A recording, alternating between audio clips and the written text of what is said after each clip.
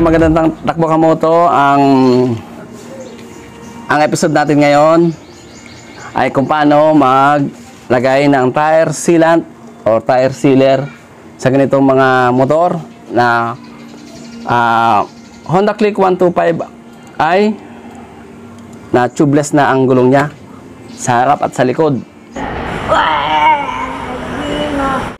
So ito, ah, ito since bago pa lang naman to, pero pwede na rin naman lagyan. Kasi in case na maplatan kayo, mabutasan, ah, hindi na kayo patakbo agad sa ano, or hindi kayo magkakaning plat, ah, tatanggalin nyo lang yung pinakapako. At go na ulit kayo.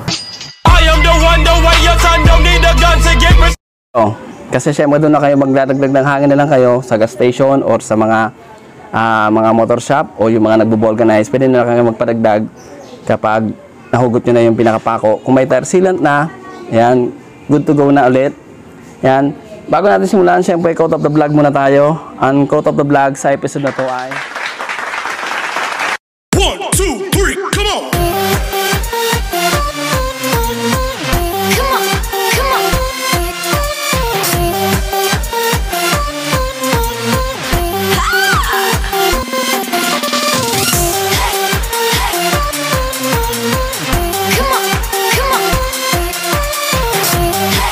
Kamoto, syempre ang mga gagamitin natin. Ang kailangan natin ng bomba. At ito yung pinakapantanggal ng sapito. At yung gauge natin, baka talagang sakto yung hangin natin na ilalagay kapag nagbomba na tayo.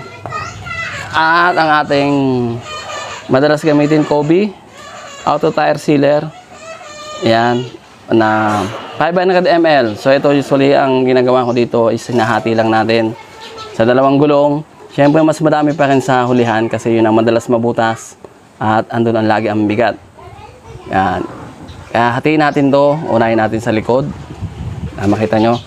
Ah, ito ang naglalagay natin na tubeless tire ng Honda Click 125i. Yan, 2021 to model.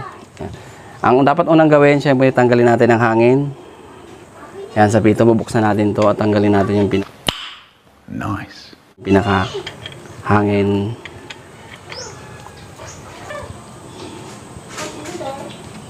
Yan, ito. Tago lang natin to. Magandang klase to eh. Yan. Ito na rin gagamitin natin. Pantanggal lang yung sapito.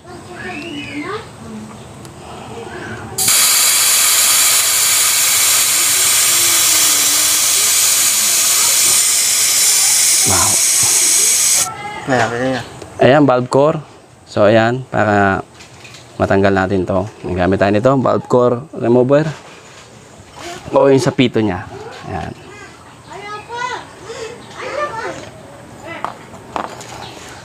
At, syempre bago natin to ilagay, nakita nyo naman, nakaiwalay pa yung pinaka chemical at yung mismong pinaka sealer niya. So, kailangan i-shake na maigi pagsamahin yung pinaka liquid na chemical at yung pinaka sealant. Ayan, ganito lang kamoto. Shake nyo lang maigi at makikita nyo ang difference. Ayan kamo kamoto, yung kaibahan kapag na-shake na. Ayan, naghalo na yung pinaka mga sealant niya, sealer niya sa liquid ng chemical. Ayan. Pag ganyan kamoto, good to go na yan. Pwede natin isalin.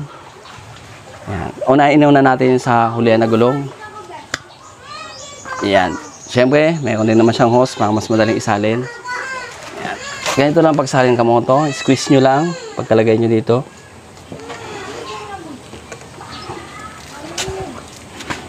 Ayan. Yan kamoto, squeeze nyo lang. Ayan. Ganyan lang siya, naka-level lang siyang ganyan. Madali naman. Hindi pa. Ayan. Ayan. Squeeze nyo lang siyang ganyan.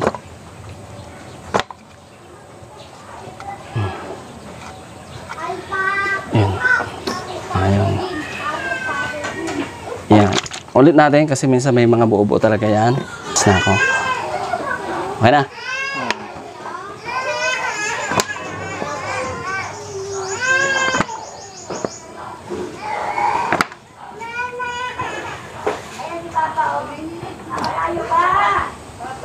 Okay, yan, tama lang yan. Ayan kamoto, itong natira, ah, lagay natin sa unahan. Talagang mas madami sa uh, hulihan kasi doon naman talaga yung pinakabigat at madalas mabutas. Ayan, ito, pwede na to sa unahan. Mabuti nandiyan kayo kasi Ayan kamoto, hangin na natin konti para yung yung mismong butas nung paglalagay ng ano, malinis. Yung lalagyan ng valve core o yung sa pito. Bomba na natin konti.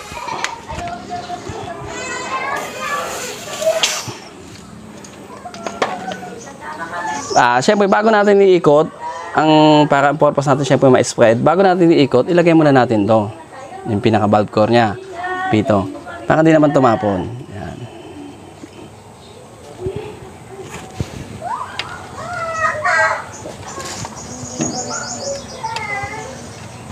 Yan. palagi tumasa kanto. Pwede naman 'to. eh.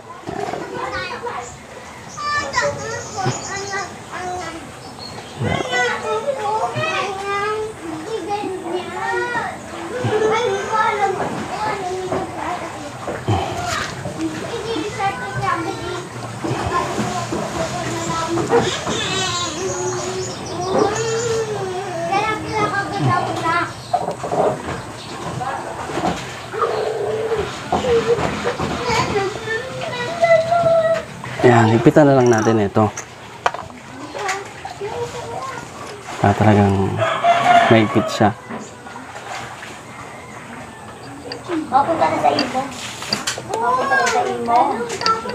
Ikaw ay mag-supply. Yan.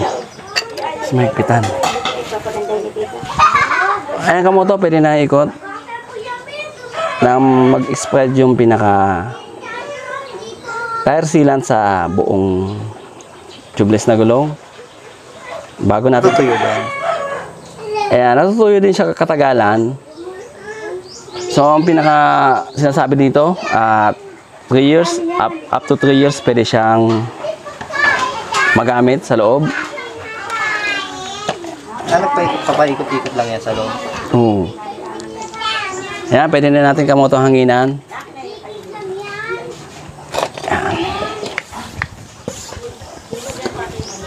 Oh, meron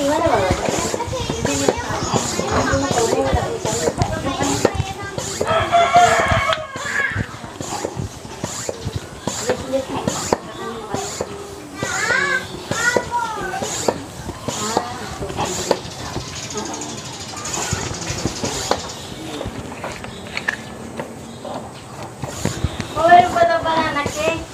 Guloy na anak ko. Dala ko ng banana cake. Ay, sige na ka na. Ayan kamoto, mas maganda gumamit kayo nitong tire pressure para ma-eksakto nyo, syempre standard natin sa gulong sa hulihan ay 33 PSI, yung pinaka maximum na ano niya or minimum na standard na hangin na kailangan ng isang sa ulihan. Yan, check natin. May ihi si Papi, oh. Ihi ata yan ni Papi, oh. Ihi. Ay, tara na, punta na tayo dun. Ba! Ba!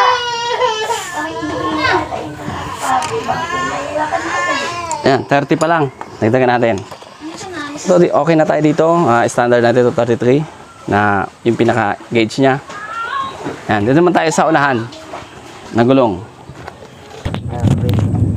Ayan, kamo to, same procedure lang. Ah, kailangan din pa tanggalin mo na yung hangin bago buksan yung pinaka valve core.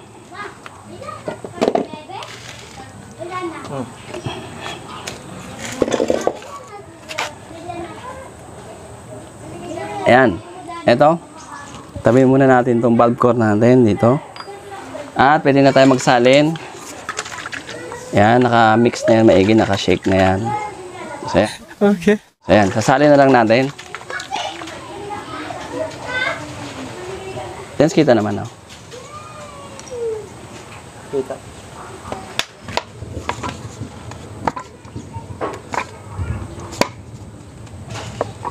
Yan, squeeze nyo lang kamoto. Yan, pwede nyo sa edin yan. Squeeze lang. I-squeeze lang maigi. Yan. Ayun, oh, may buo talaga siyang malaki. Hindi na natin sa yung malaki. Hindi na kasya sa os eh. Ayan ka mo to. Ayan, naubos na natin yung isang 500 ml na tire sealant.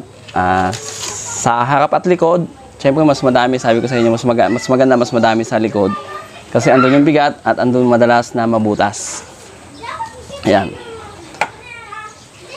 Ayan ka mo to, bago, lag, bago natin iikot yung gulong, bombahin natin para malinis yung lalagyan ng valve core.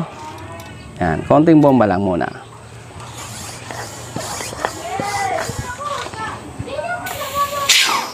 Ayan, pwede natin ilagay yung valve core. Di ba ipapaikot yan? After na to, pagkalagay. Yan, bago ipaikutin, kailangan ilagay muna natin yung pinaka-valve core niya. Balik natin sa pinaka -pit, sa pito.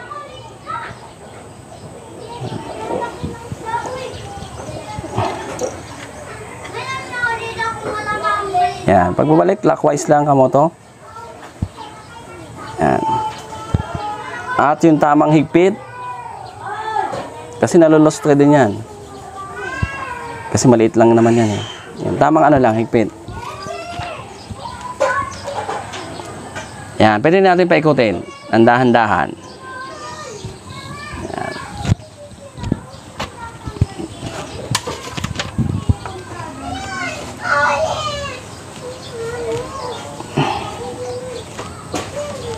Yan. Isa pa. Yan. Pwede natin lagyan ng hangin. Bombahan. Standard nito kamoto ay 29 PSI. So, kaya nga tayo may gauge para makuha natin yung pinaka-standard na hangin.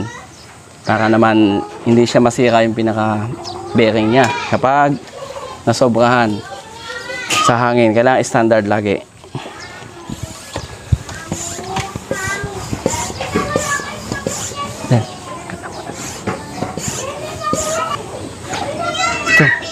Muna natin yung gauge.